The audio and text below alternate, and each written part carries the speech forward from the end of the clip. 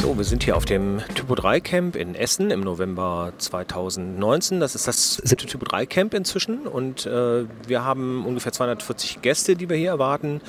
Äh, in wenigen Minuten wird die Eröffnungsveranstaltung sein, wo das Barcamp erklärt wird und vor allem, was das Wichtigste ist, die einzelnen Veranstaltungen ähm, vorgestellt werden und dann zusammengestellt werden. Und dann werden wir bis morgen hoffentlich eine interessante Veranstaltung haben und zwischendurch werde ich versuchen, äh, die verschiedensten Teilnehmer ähm, zu interviewen Einige kennt ihr davon schon. Und ich sag mal, wir gehen jetzt einfach rein.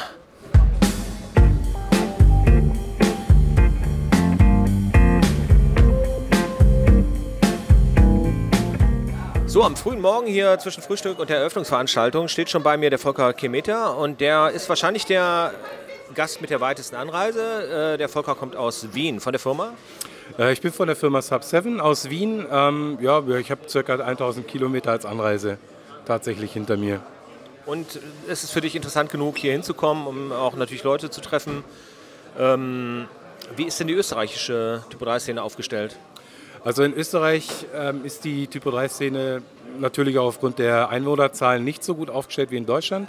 Ähm, allerdings, ähm, wir veranstalten auch das Camp in Österreich als internationales Camp. Ähm, wie heißt deine Firma? Äh, Sub7, wir sind in Wien also ansässig direkt. Wenn wir das Camp machen, haben wir allerdings auch immer eine sehr große Besucheranzahl aus Deutschland. Das heißt also, ja, es sind, ist schon eine gute Community. Wir haben auch sehr viele Leute, die aktiv am Core contributen. Ähm, sehr bekannte Leute in Österreich auch. Ähm, aber der Großteil kommt natürlich aus Deutschland. Das ist auch einer der Gründe, warum ich dann gerne hier bin. Das Camp ist aber trotzdem englischsprachig, weil ihr wahrscheinlich auch viele Gäste aus Italien, Ungarn äh, und anderen nicht deutschsprachigen Ländern habt.